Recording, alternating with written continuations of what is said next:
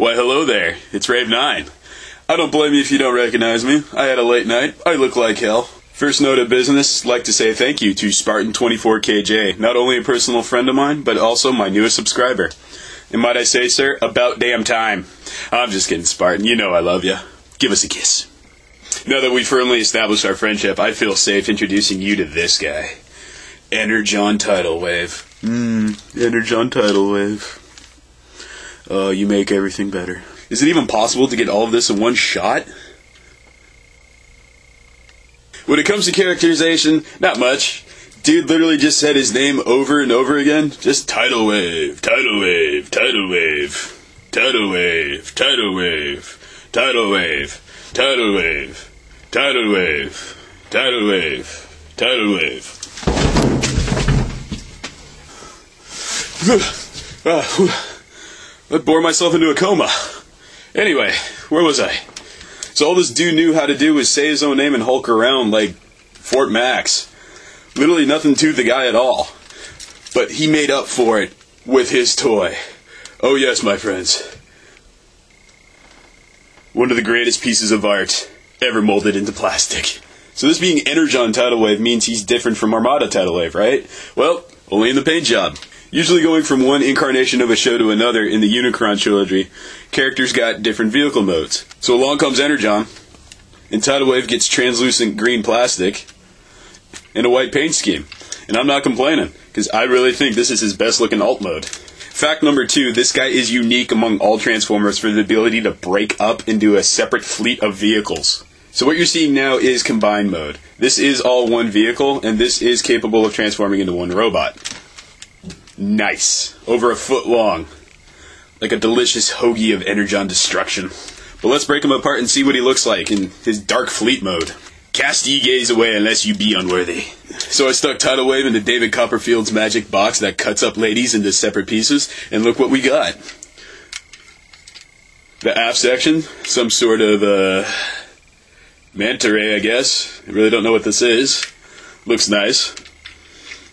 It's also a fleet carrier for minicons. I think this is supposed to be like a troop carrier. Like one of those boats that carried soldiers onto the beaches of Normandy. It's that or this is the luxury liner section of Tidal Wave. I'm more inclined to believe luxury liner. I mean, he's got gold carpeting in there. Pretty schwank. Then comes the midsection, which comes with the tidal wave. Then comes the midsection, which has got the weapons and a really nice deck. This really helps show the scale of tidal wave. Look at that. That's the control tower right there. Right there. And it's pretty detailed. Then finally we get this piece, which is the landing deck for a battleship. Really nice. Look at the scale on this. That's another control tower right there. Now I know you saw this part right here and were wondering, what the hell is that, Rave? Well, I'm about to tell you. Just like any good battleship that has a working elevator, Tidal Wave also comes with a working elevator for his Minicon partner. He may be a holdover from Armada into Energon, but he still retains his Minicon partner Ramjet. So taking a moment to talk about little Ramjet here. I don't know what to call this folded up mode. I mean, they give every other weird backwards mode a name. Should we call this? Eraser mode? Yoga mode? Box mode? Anyway, the point is you need to fold up Ramjet like this to storm into Tidal Wave. Headmaster mode? So Ramjet in his vehicle mode looks nothing like G1 Ramjet. He's just the character in name only. He actually looks more like Thunderwing, I think. The details are almost the same. And I think that's the same vehicle mode. Hmm? Maybe it is Thunderwing. I don't know. I kind of feel sorry for this guy. Have you seen this poor bastard's robot mode? Aw. He's got a monoleg. Life is pain. So all of these three different sections are Tidal Wave's Dark Fleet mode, and I absolutely love it! This is why I'm so passionate about this toy. It has that ability to break up into separate vehicles and still form a giant robot, like Energon Omega Supreme or Omega Sentinel, or G1 Overlord, who I absolutely think this guy would make a great BotCon mold of. Just the playability is so diverse with the Dark Fleet and the ability to combine it into one giant fleet vehicle. Observe.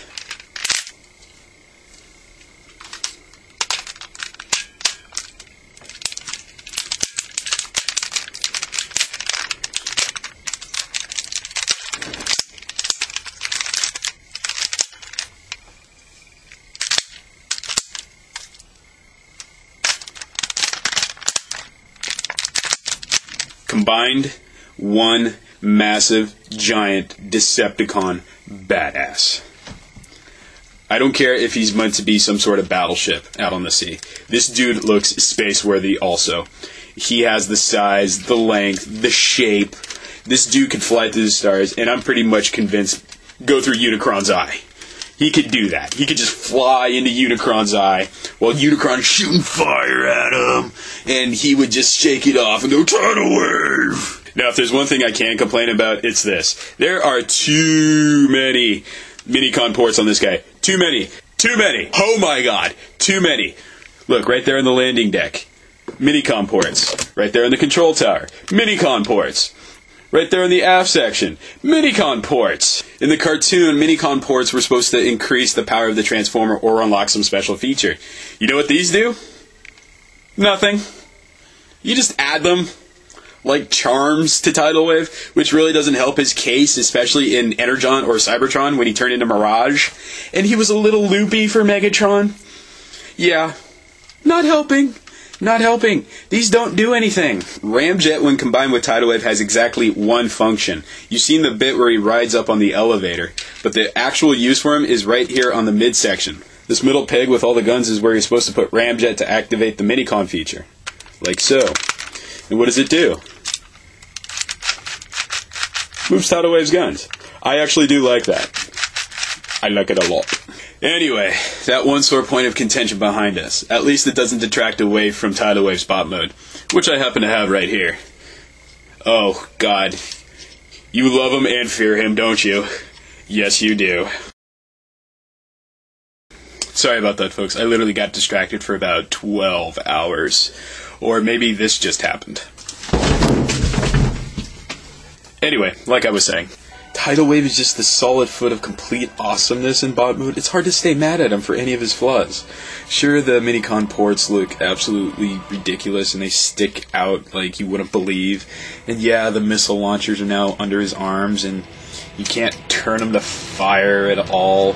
And he really has no weapons besides those missile launchers, so that kind of sucks. But he's a massive hulking robot. I mean, all he needs is his size. I can give him this though. I mean, with Ramjet plugged in, kind of does look like a nice piece of armor. See, armor. That actually has a nice little aesthetic touch to it, don't you think? What do you think, Tidal Wave? Tidal Wave. Uh, I could have said it better myself, buddy. Tidal Wave really has it all, in my opinion. I mean, yeah, it has its drawbacks. What doesn't?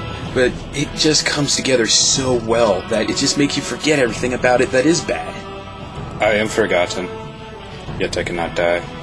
But really, if I haven't convinced you now, I don't think I ever will. Tidal Wave is superior. He is worth it. Every last penny you invest in this guy will be well invested. Tidal Wave. Well said, my gigantic friend. Well said.